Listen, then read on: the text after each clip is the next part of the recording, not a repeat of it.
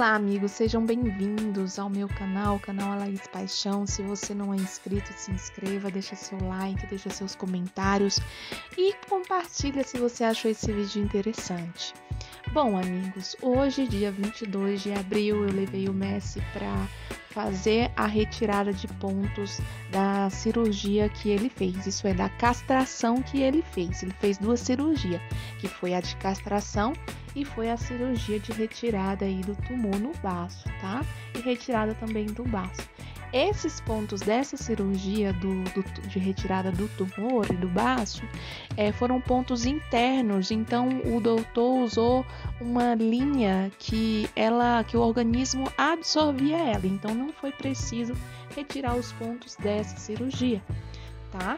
Ah, o que a gente foi fazer aí no Hospital Mundo Animal de Andradina foi apenas retirar os pontinhos mesmos da cirurgia de castração nesse dia, tá? E bom, amigos, esse dia a gente foi pro Hospital Mundo Animal, né? Ficamos esperando aí na recepção, como vocês podem ver.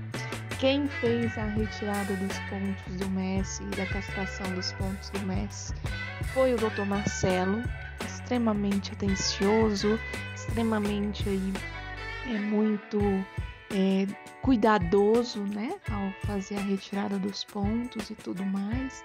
Ah, depois que a gente retirou os pontinhos, ah, o Messi ainda ficou utilizando uma pomada, né, porque ficou um, ainda tinha ficado um pequeno buraquinho. Então a gente ficou utilizando uma pomadinha aí para completa cicatrização desse pequeno buraquinho aí, tá bom?